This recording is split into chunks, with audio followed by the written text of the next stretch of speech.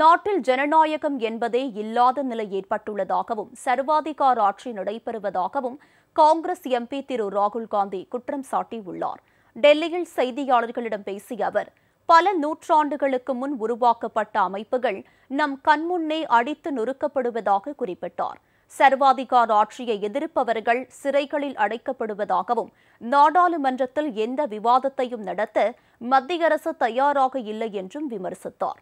இந்தியாவில் உள்ள மூன்று பெரும் பணக்காரர்களுக்காக சர்வாதிகார ஆட்சி நடைபெறுவதாக திரு ராகுல் காந்தி வேதனை தெரிவித்தார் வேலை வாய்ப்பின்மை தலைவிரித்தாடுவதாகவும் அனைத்து பொருட்களின் விலையும் பல மடங்கு உயர்ந்திருப்பதாகவும் ராகுல் காந்தி சுட்டிக்காட்டினார் Democracy is now a memory in India. It is nothing more. And there are consequences to this. You will see there are going to be devastating consequences to this. Because the people of India are not just going to keep quiet. आज सबसे ज़्यादा unemployment Hindustan में महँगाई बढ़ती जा रही है, gas cylinder की प्राइसेस बढ़ती जा रही हैं पता नहीं, शायद मतलब फाइनेंस मिनिस्टर को मतलब ये आंकड़े दिख ही नहीं रहे हैं, या उनको बताया गया है कि बस